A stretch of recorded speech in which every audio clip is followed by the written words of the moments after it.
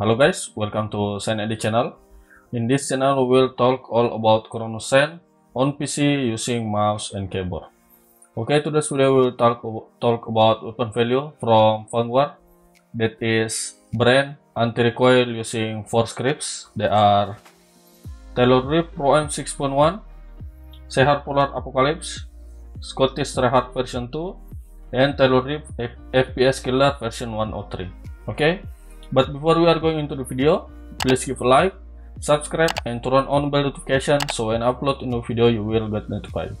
Okay, in this channel we upload video about weapon value like this video, tutorial, troubleshooting, and info-info around ChronoSend on PC using mouse and keyboard. Okay, without further ado, let's start the video.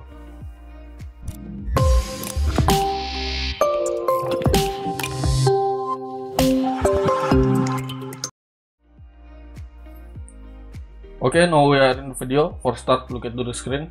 This is for the setup the scripts and download the scripts. Okay, first we are going to Taylor Rip Discord. In here, in download section, download all four scripts. Okay, in here. After you download the scripts, go open your Sense Studio. Go to the Programmer tab. Go to the file directory. Go to your download folder, and then you will see the scripts here okay drag and drop to an empty slot.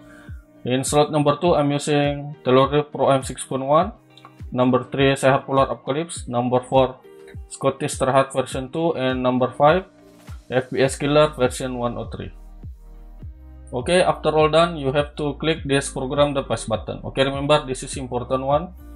Remember to click this program device buttons so all your scripts and settings save on in this send device okay remember this is very important.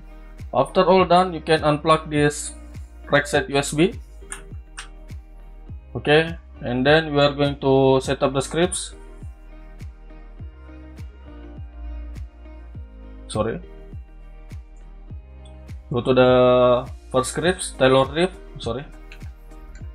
Taylor Rip Pro M 6.1 go to the script menu. Go to the sorry. Go to the settings Weapon names change to rifle. Go to the mod menu.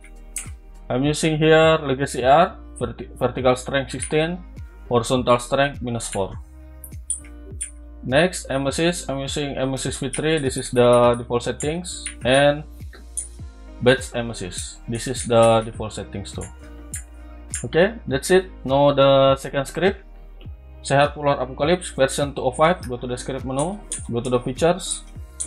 Weapon name change to rifle go to the mod menu. I'm in here. I'm using legacy R vertical strength 17 horizontal strength minus 3 okay that's it. For M assist I'm using Jar V3 this is the default settings. Okay that's it Next, the Scottish Trehard version 2. Go to the script menu, go to the mod menu. I'm using here Legacy R, vertical strength 18, horizontal strength minus 2. I'm assist, I'm using I'm assist, I'm assist V3. This is the default setting, but remember to turning on this shape direction. Remember all the scripts to turning off this progressive rumble AR or progressive AR. Okay, remember this must turn off. Next the fourth scripts or last scripts. Taylor Reef FPS Killer version 103 go to the script menu anti-recoil and MSS I'm using here Legacy R vertical strength 16 horizontal strength 0 remember to turning off this progressive AR MSS I'm using MSS V3 this is the default settings and bed stick M. This is the default settings too. Okay, that's it for the script setting. Now look at the screen. This is my attachment. Muzzle, I'm using Mercury cylinder, silencer, sorry. You can use MX2, MX silencer, but I choose this Mercury silencer to add some suppression and recoil control.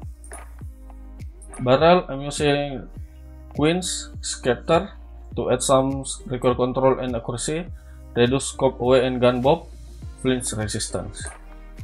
Okay optic as always I'm using G16 this is so far my go-to optic this is my favorite one okay? Stock I'm using Oak and Shield 12B under barrel I'm using M9041 hand stop to add some recoil control and accuracy magazine I'm using 40 round max from Sakura. Okay ammunition as always FMG rounds you can to lengthen it too. You can use this lengthen next rear grip. I'm using leather, leather grip to add some ADS speed and aiming stability.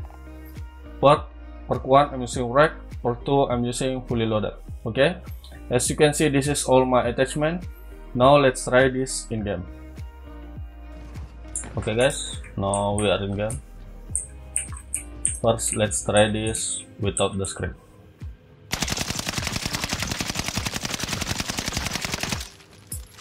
okay. Next with Taylor Pro M 6.1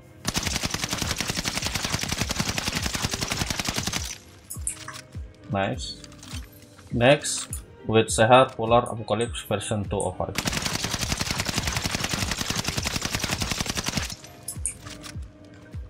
next with Scottish Rehat version 2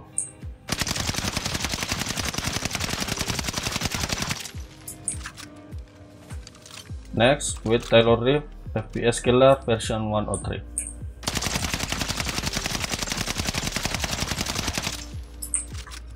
Okay, as you can see, without the scripts, with Taylor Pro M 6.1, Sehat Polar Apocalypse, Scottish Rehat, and FPS Killer version 103. Okay, as you can see, all the scripts is really good for this gun, for the brand okay but I really recommended using this Seher Polar Apocalypse version 205 okay because it's more steady and almost no recoil okay for this FPS killer it's when this uh, video is making the uh, sorry slide cancel is not not working yet. Okay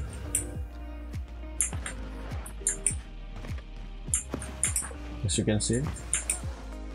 Okay so I really recommended using this Sehat Polar Apocalypse version 205 for this gun for the brain. Okay? For the brain. Okay? I think so for this video. If you have any question please ask in comment section and don't forget to give a like and subscribe to the channel. Okay? And in the end of this video I will give you some clips. For this gun using Taylor Reef Sehat Polar Apocalypse version 205 okay thanks for watching and see you next video